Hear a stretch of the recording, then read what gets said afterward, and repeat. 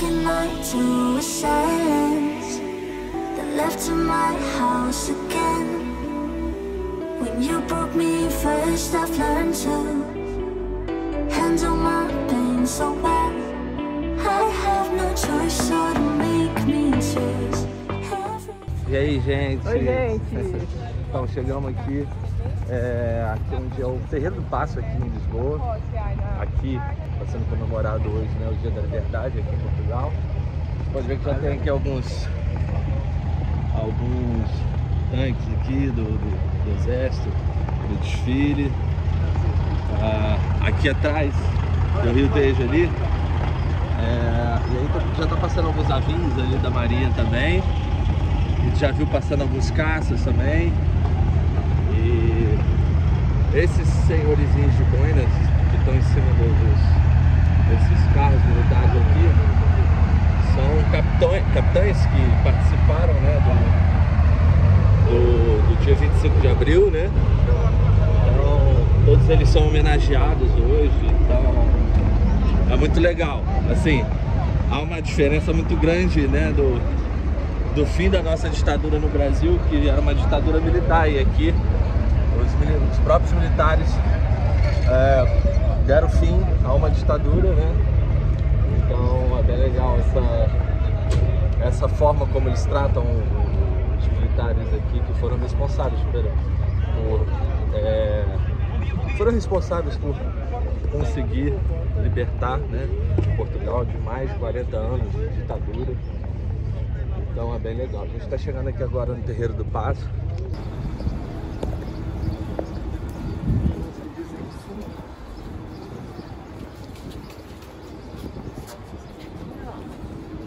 Agora eles estão se concentrando aqui, ó. Acho que, pelo que a gente viu, tem mais de mil militares hoje aqui. Não sei se é só aqui na, na- aqui nessa parte aqui dentro do terreno do Passo, mas sei em Lisboa inteira, né? Concentrando aqui para, para começar o desfile aí das Forças Armadas aí.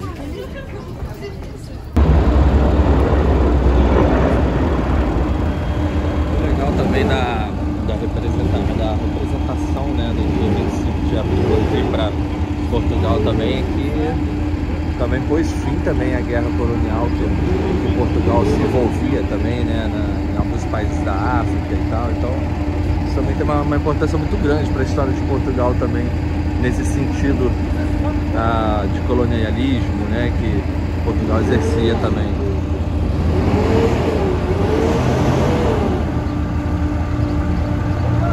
Débora falou que o moço tá fantasiado de Fantasiado. samambaia. Isso não. Esse aqui também é um sniper, ó. Coisinhas na Eles cabeça. Todos eles são snipers. Olha o doguinho, eles também são do também são da, da força militar, tá? São, eles ajudam. Ó.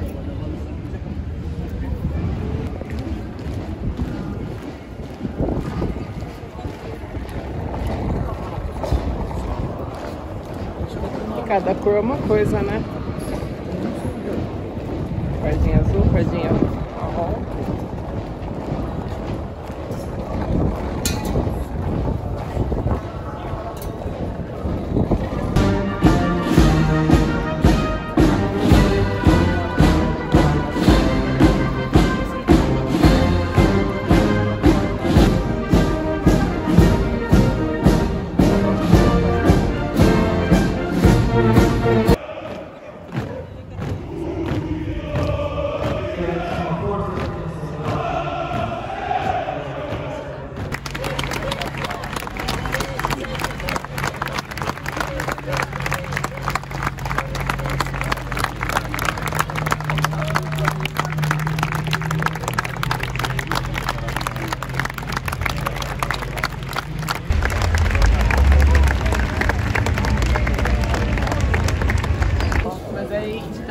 Aqui na... atrás, onde tá tendo a apresentação. E aí eu queria contar um pouquinho sobre os cravos, né? o porquê do cravo ser importante, representar a queda da, da ditadura. E aí o cravo é a flor que representa a queda da ditadura. para vir aqui, ó, o pessoal comprando os cravos, porque no dia, dia 25 de abril, tinha uma senhora distribuindo cravos e distribuiu cravos para os soldados, os soldados colocaram na ponta né, da, das armas e não teve nenhum tiro, então o cravo, por conta disso, é a flor que simboliza a paz e o fim da ditadura. Conhece aqui a Praça do Comércio, né? Ela tem as, as galerias do lado de lá, é, aí tem aqui do lado de cá também. E aqui a gente encontra restaurantes e tal, tem o Museu da Cerveja mais aqui atrás. E, e é aqui que o povo se concentra para poder assistir essa celebração do dia 25 de abril. Gente, então aqui é a da onde é o terreiro Compasso, né? Onde foi aqui consumado, né? A operação aqui da derrubada do Estado Novo, em 25 de abril de 1974, da queda dessa ditadura que já durava aí mais de quatro décadas. Então foi nessa, nessa praça aqui que os militares né, consumaram a operação aqui para poder tomar o poder e derrubarem essa ditadura que já perdurava aqui por 40 anos. Então, é também aqui onde eles uh, pelo esse simbolismo de porque eu acredito que aqui tinha, não tenho certeza, mas acredito que aqui tinha algum, algumas sedes do governo de Portugal. Então por isso eles escolheram esse local aqui para ser a, a, aonde eles iriam de fato consumar, consumar essa operação para a criação aí de um novo governo após o fim dessa ditadura. Então, então é isso gente aqui, a gente tá saindo aqui agora da, da Praça do Comércio agora pra gente ir e conferir como que é a outra parte também, como as pessoas, é, como as pessoas aproveitam aqui esse feriado de 25 de abril. Então a gente vai dar uma voltinha agora lá na costa, do outro lado da ponte, ali na costa da Caparica, vamos em alguma praia ali para poder mostrar para vocês ali como que tá a praia aqui em Portugal hoje, aqui nesse feriado. Então,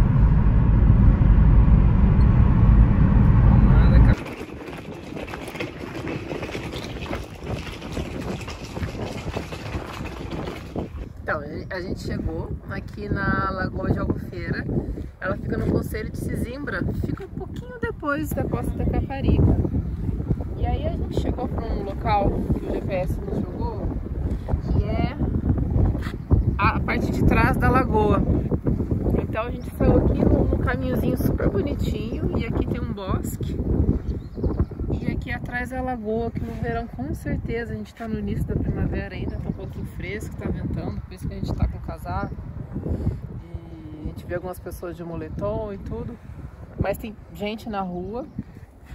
E aproveitando aqui a, a lagoa, né? Então a gente acredita que no verão deve ser bem gostoso, por ser fresco, contato com a água, com a natureza. E aqui é a parte de trás da lagoa e lá na frente não vai dar para ver por causa das árvores. É o encontro da lagoa que ela deságua no mar. E a gente vai tentar ir para lá agora. Aqui é uma região onde a gente também consegue encontrar casas para comprar. Casas pré-fabricadas, casas comuns também. Você pode também ter área de camping. E então a gente olhou pelo um aplicativo que tem em Portugal para ver preços de algumas casinhas. E você consegue encontrar casas a partir de 55 mil euros até 380, 400 mil euros. Uma casinha com quintal, um espaço de lazer, churrasqueira, perto da lagoa, perto da, da praia da Lagoa da Albufeira. E também você está bem localizado, que você fica numa região assim, central, entre a Costa Caparica, Sisimbra, Parque da Rábida, que são uma das praias mais bonitas aqui da, da região de Lisboa. E um lugar bem arborizado, um bosque com várias árvores. Você também encontra banquinhos para passar a tarde de, de verão na sombra. Tem algum lugar que a gente conseguiu ver com, com churrasqueiras. Você pode trazer seu balanço, trazer sua, sua cervejinha, fazer um piquenique, pescar. Na lagoa tem também como pescar. Então é um ambiente muito agradável muito bom para passar, acho que qualquer as, as estações do ano por aqui. E tudo começa pelo dia bonito e vamos para a praia. na beira do mar. Então, gente, tô aqui com, com, com essa pessoa ilustre aqui. Né? Tá bem, tá bem, bem trajada, né? Tô bem, tô bem pronto pra ir pra um, uma formatura de camisa, porque não tem como, gente. Tá muito vento e não tá aquele calorão pra você ficar estirado na areia. É, hoje a gente veio aqui ver como o pessoal, os portugueses aqui estavam, os portugueses, imigrantes, brasileiros e de outras nacionalidades em geral, a gente veio aqui ver como que eles estavam aproveitando aqui a, feriado nessa parte aqui da, desse zebra que a gente não conhecia ainda, que é a Albufeira, né? É, ali, ali na frente, ali é a Lagoa de Albufeira, onde o pessoal tá ali, ó, praticando kitesurf e tal. E logo atrás, aqui a gente já tem mar. Vocês podem perceber que hoje não tem praticamente, apesar de ser o feriado mais importante de Portugal, tem ninguém na praia, né? O tempo não ajudou muito. Pode ver que o céu tá um pouquinho bastante nuvem, tem umas nuvens mais escuras para lá.